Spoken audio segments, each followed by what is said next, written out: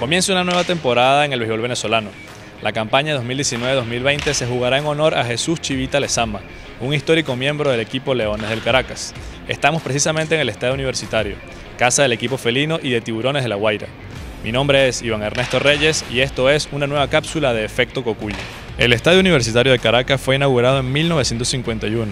Tiene capacidad para 20.700 personas, lo que lo convierte en uno de los estadios más grandes de Venezuela. Aquí juegan como locales los Tiburones de La Guaira y los Leones del Caracas, dos equipos emblemáticos del béisbol criollo.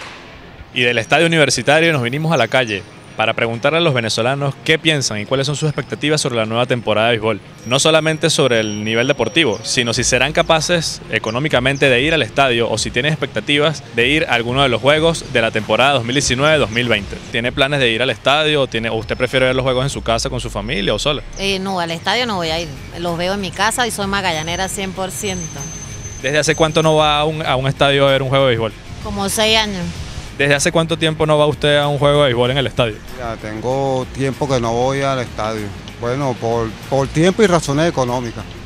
Cuando lo ve en su casa, ¿prefiere verlo, digamos, usted solo o con su familia o con amigos? Con toda la familia y los amigos.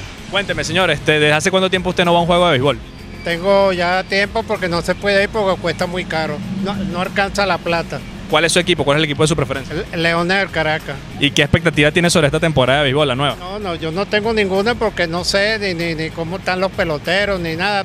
Los veré después. ¿Tienes pensado ir este año o esta temporada al, al estadio? Total. Siempre hay que apoyar a todos esos jóvenes. Y bueno, yo pienso que la nueva expectativa es que ver a nuevos talentos venezolanos, ver a nuevos prospectos venezolanos, a diferencia de los equipos, y que a pesar de la situación país y todo, disfrutemos una buena temporada de béisbol. ¿Desde hace cuánto usted no va al estadio a ver un juego? Uy, añala, desde que me vine del Vigía Estado Mérida. O sea, nunca ha ido a un juego, a un juego de béisbol en el estadio. No, por problemas de trabajo y, y problemas económicos. Pero siempre ve los juegos en su casa, con su familia. No, por televisión.